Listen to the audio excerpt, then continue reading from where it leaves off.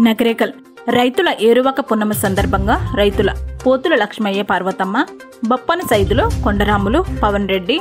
ఆదిరాల జానయ్య సాతిరి భిక్షం చెనగోని చంద్రశేఖర్ షేక్ జానీ తదితరులు రైతుల పొలాల వద్దకు ఎద్దులకు వ్యవసాయ పనిముట్లకు పూజలు చేసి రైతులకు పూలదండలు శాలువాలతో సత్కరించి స్వీట్ తినిపించి ఏరువాకను ప్రారంభించిన తెలంగాణ ప్రదేశ్ కాంగ్రెస్ కమిటీ రాష్ట్ర కార్యదర్శి దైదా రవీందర్ ఈ కార్యక్రమంలో వారు మాట్లాడుతూ వర్ష ఋతువులలో జ్యేష్ఠ శుద్ధ పౌర్ణమిను తెలుగు రైతులు ఏరువాక పున్నమిగా జరుపుకుంటారు. తొలకరి జల్లుల ఆగమనంతో రైతులు ఆనందోత్సాహాల మధ్య అరక దున్నటంతో పొలం పనులు మొదలు పెడతారని అన్నారు కరోనా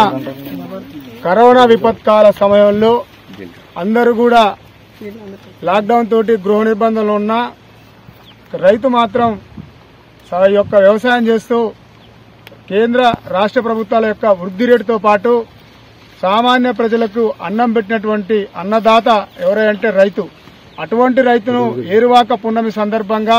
సన్మానించుకోవడం వారి కృతజ్ఞత తెలియజేయడం సమాజంలో మనందరి బాధ్యతగా గుర్తెరిగి ఈరోజు నకరేకల్ కాంగ్రెస్ పార్టీ మరియు దైదా సుందరయ్య ఫౌండేషన్ ద్వారా మేమందరం కూడా రైతులని వారికి కృతజ్ఞతాపూర్వకంగా మాకు మేము వారిని చిరు సన్మానంగా సత్కరించుకోవడం జరుగుతుందని చెప్పి ఈ సందర్భంగా ఏరువాక పున్నమి సందర్భంగా వారికి హృదయపూర్వక రైతులందరూ రైతు సోదరులందరికీ నకరేకల్ నియోజకవర్గ